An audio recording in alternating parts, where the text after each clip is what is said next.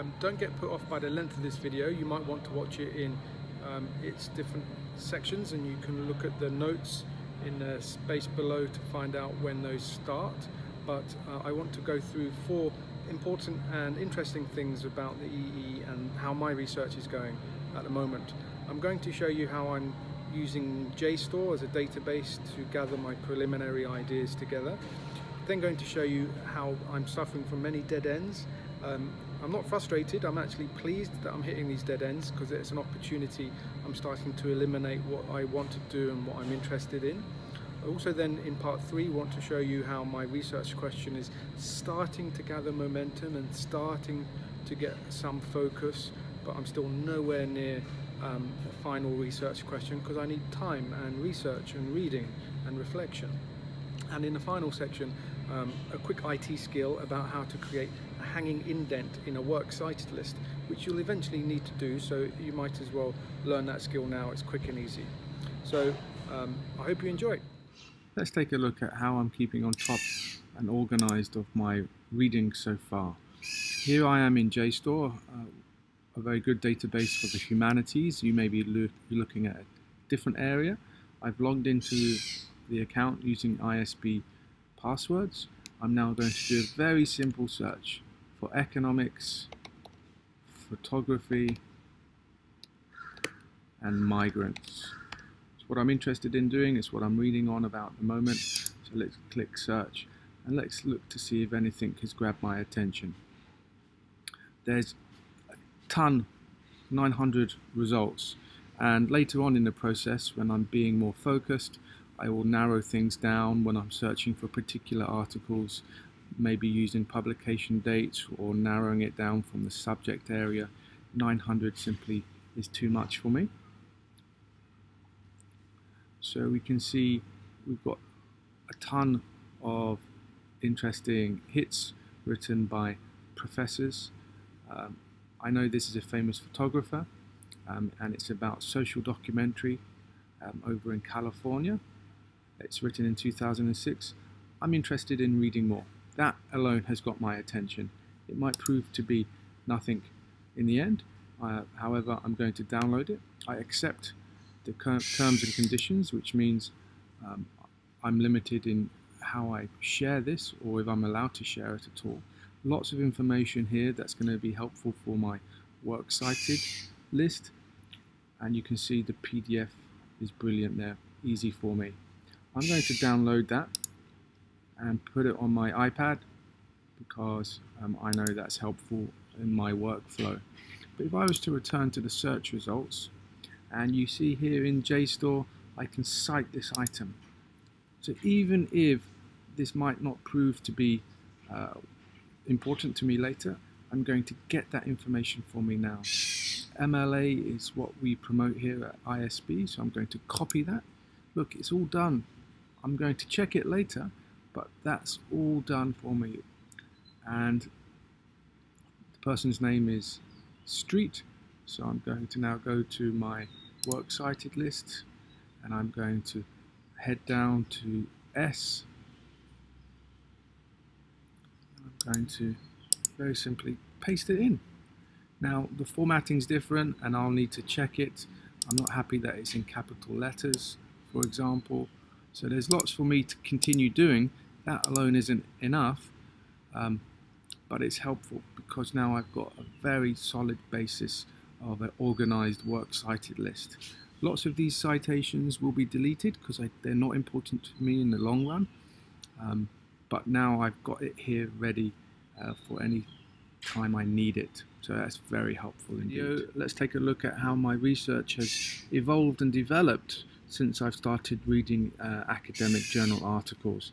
At first I was interested in economics and art and I picked up on some themes around the classroom um, but then I moved into value and auction and realized that there was some relevant news recently with Banksy shredding some art in an auction house, moving on to investment. You have to excuse the bird, I'm sitting in a garden here. I've also been slightly tempted to look at issues around Kokret uh, or Thai kickboxing. Um, they haven't yet led to anything, but I'm aware that you know, that could be a, something I'm interested in doing.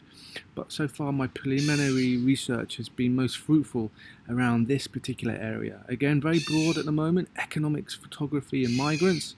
A lot of the reading has led to dead ends, and I haven't really been inspired or got any further ideas from that. But I did come across this particular article written by Carr in 2011 which highlighted the work of a very famous photographer, Sebastião Salgado, who is a famous Brazilian photographer um, and has done a lot of uh, work, years of work, on the issue of labor and migrants. So that's kind of a treasure trove for me and I managed to find other due to this article Carr, I managed to find other articles that also inspired me, that led me to further um, ideas, questions, which we're going to look at later. Uh, some some of it was dead end, but it allowed me to think about what I might do with my EE. I then read a different paper to do with economics, photography, and migrants, but it was about how the issue of HIV and AIDS is portrayed in photography, and it read led to some really interesting thoughts um, that I can now perhaps even connect with this bit of reading and try to create a, a new insight by combining ideas. But what I want you to realize is that all of these papers here, the one about HIV AIDS and these have all mentioned very similar um, big names. Now, I'm already aware of Sontag, Berger, for example, but um, this one Strauss I hadn't heard of, but he was mentioned in all of these articles. So now I'm very keen to find out more about his ideas and maybe even get some of his writing or try and find his book in the library or so on. So that's how a research question in the early stages develops. It's how your ideas progress. Um, these ideas and research questions don't fall on your lap like a gift from heaven they come through reading, they come through research um, by making connections and seeing new ways or, or gaps in the literature that you can contribute to. So keep that in mind. Don't expect a research question just to pop into your head. It is developed over time, okay? Um, thank you very much. Short video, I'd like to talk to you about how my research question is, is looking, and progressing you may recognize some of what I'm going to show you through the early bird task known as the research trail. So here we are in October 2018 and I have a broad beginning, economics and art, and like you've seen earlier in the video how that was interesting but didn't lead me to much focus. Just a simple little bit more uh, detail in my search, photography and migrants, I'm narrowing it down into an area of particular interest. Now, Sebastião Salgado is extremely famous, and I knew of his work before this research began, but I wasn't aware of all the criticism that, has been uh, written against him. And this is just a snapshot of some of the things I've uncovered in my research. For example, can suffering be too beautiful? When he was portraying the issues of migrants and manual labour in his previous work. So it led me to create my own questions about how explanatory notes within photojournalism can have an impact. Does photography produce knowledge and the impact it might have? Is it important for the photographer to give the subjects of the photography uh, a name, for example? Um, and there seems to be an underlying theme within Salgado's work that has a heavy Christian bias and what impact might that have, uh, generally speaking. That research um, has want, made me want to follow up more on particular readings, and this one is a priority of mine. I only found that out because of this reading, you see. But I also uncovered a great article which has really sparked my imagination. Um, it wasn't anything to do with migrants, but it came up in my general database searching about how HIV and AIDS in Africa has been portrayed in photography and I came across this new type of categorization that I wasn't familiar with uh, uh, a few days ago, and how photography can be subjective and it creates perceptions of victimhood and um, embeds stereotypes.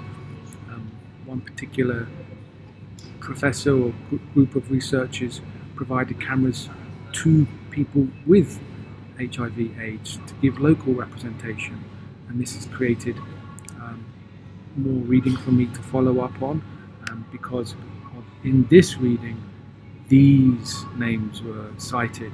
So it's made me want to go off and do more research and try and continue with my uh, thinking about these topics.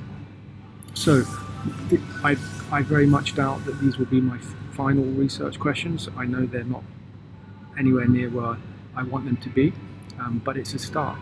And I'm looking perhaps at recreating a study that I saw in the HIV AIDS article, but perhaps changing the focus and on my own small scale, looking at how migrants in Bangkok.